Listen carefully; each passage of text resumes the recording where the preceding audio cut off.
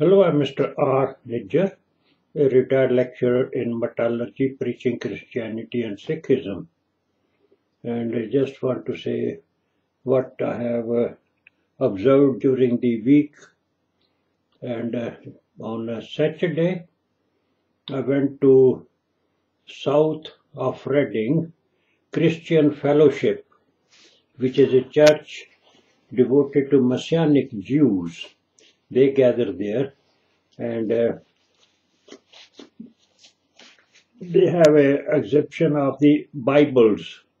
Somebody bring the Bible, you know, old one, and oh, they were handwritten, and uh, including one of plastic, which you can dip it in water without any, and that was also quite uh, interesting, small one. Now, in this Bible, if you see the coverage, the New Testament is uh, hardly one fifth of the Bible. The four fifth is the Old Testament. Old Testament is the Jewish leaven, the old wine, which is forbidden. Is forbidden because is when you get drunk with the old wine, you desireth not the new. And this is well uh, stressed or given the practical example that when Christ Jesus was going to Jerusalem and tried to preach gospel to the people, to engage them in that, nobody wanted to talk to Jesus. They would turn their faces away and give him back. And very few only, if they wanted to listen to him, that was only to challenge his authority.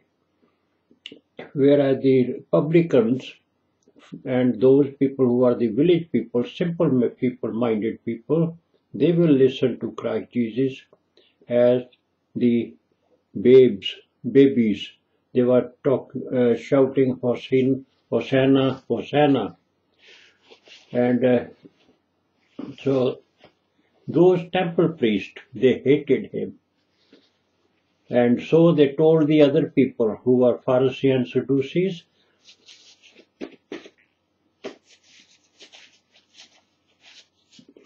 to do the same. They were instructed not to listen to him. And he was called the son of Satan. Uh, you know how, what they call him. And that's why most of the Pharisees, Sadducees, they were reading the Torahs and all those Old Testament books and saying that, oh, Christ will come, he will be in the line of David, and all that they were discussing. And there he was standing in front of them.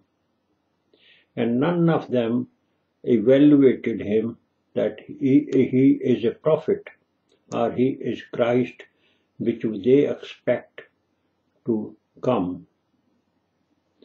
And when Jesus demonstrated that how lively and how spiritually high the Gentile were, he did so in the Samaritan village where he went and talked to their lady, not never mind men, men are more educated than lady, so the woman at the well, Samaritan woman at the well, when he talked to her, and first of all she said, you know, you Jew, you hate us, and why you ask water from me? That means she taunted, you know. And then when Jesus, you know, then, you know, Jews, they hate even today, they are hating them. Uh, the other day I at this Messianic church where I go, I met a man who was there in uh, Jerusalem for more than two years. He said even today, if some Jew have to go to a place in which they have to travel through the region of Samaria, they tell them not to go through the Samaria village, but to circumcise it, you know, go over it, Uh, around it, and not to go through it. So not to enter into the village, village of Samaria. that means that in case, you know, it's one of their Jew, he may be softened, their heart may be softened by the hospitality of the Samaritans. Remember how a Samaritan man picked up a wounded person? So such was the nature of the Samaritan people because they were men of light, men of God. So this Samaritan woman at the well, when Jesus uh, told her that he has the uh, living water that he can give to her, and uh, she just said, you know, you have no uh, no rope to pull it up or anything. That is just, you know, these people added it up, Messianic Jews. But however, when he mentioned the living water, then Abbe Hayat we call it in Arabic. So when he mentioned that he has that one which she will thirst, you know, she understood the metaphor. And she then start talking to Christ Jesus. And then when Christ Jesus explained to her, and she asked Christ Jesus questions, such deep questions that even his laborers, when they returned back from the village and they found her discussing with this lady, even her laborers, they were listening carefully and they were astonished the height or the quality of questions she was asking Jesus and she was asking such a quali quality questions that even she said, ah, you look like a prophet. That means she evaluated Christ Jesus a prophet. And she told him, when Messiah will come, he will tell us everything. Then Christ Jesus, because she was a person of light, she was not a blind person. To tell a blind man that I am a light, then it is to make fool of yourself. That is why Christ Jesus told his laborers not to mention to anyone that he is the Christ. When Peter said, You are the living Christ of a living God. So, this woman evaluated Christ Jesus and he was so pleased to tell her that I am the light because she was not blind spiritually she was enlightened one. By the way, the last husband she had was the religious knowledge in spirit, not in the letters. In Jerusalem, people were having the religious knowledge in letters, dead letters, with, without dead, with, uh, let, letters are dead without spirit. But here she has, she has the knowledge religious knowledge in spirit, and she was not proud of them. She was quite knowledgeable, and she was not proud as the Jerusalem people were. Jerusalem people were haughty, stiff-necked, with their Torah knowledge. When they, Jesus asked anything or anything, they won't answer him. They will, as you know, if you ever happen to talk to a Jew, you will see how he will turn his back towards you as soon as you start discussing religion. That, oh, you are a Gentile, you don't know anything, you are a uh, Goshi Kopa, stone headed person. That means having nothing in, their, in your head. They are all knowledge of the book knowledge, Torah, and all that. So, this woman at the well, she had learned the thing in spirit, in spirit only when you learn it, when you are humble and you are not proud of your wisdom.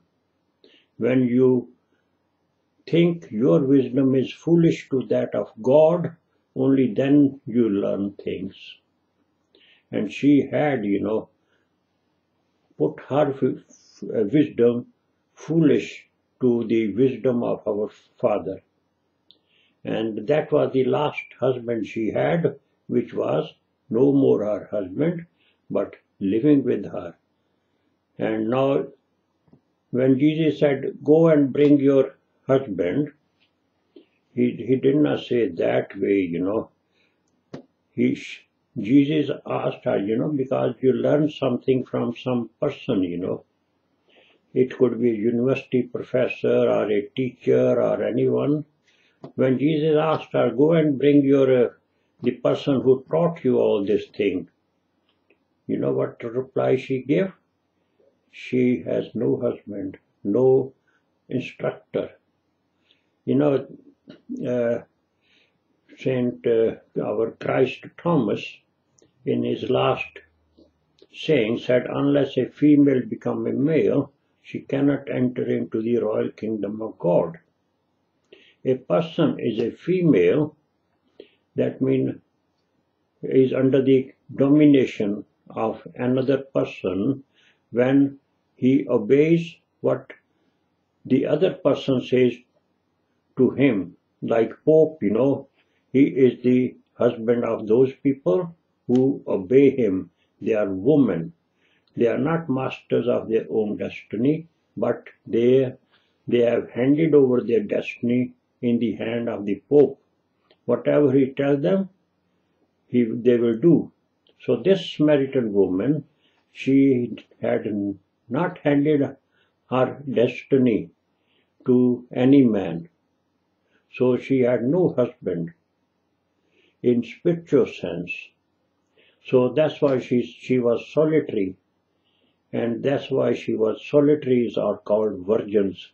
Remember the parable of ten virgins?